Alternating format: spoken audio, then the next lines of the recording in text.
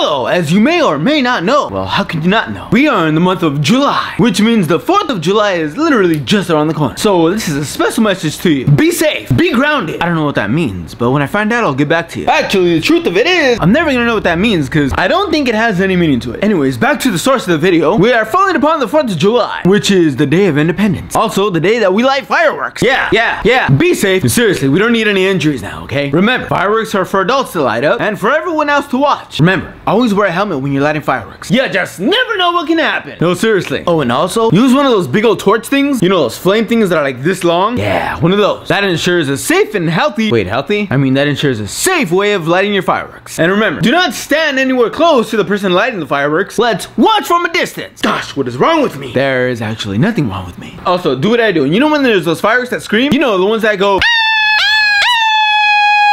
I'm not gonna do that too long because I can imagine I just ruined your earphones. Sorry about that. Anyways, yeah, when I was little, those little fireworks that used to scream, yeah, I used to play competition with them. What I mean? You know what I mean? I used to literally see who could be louder. So my mom would light them, then they'd go crazy. Ah!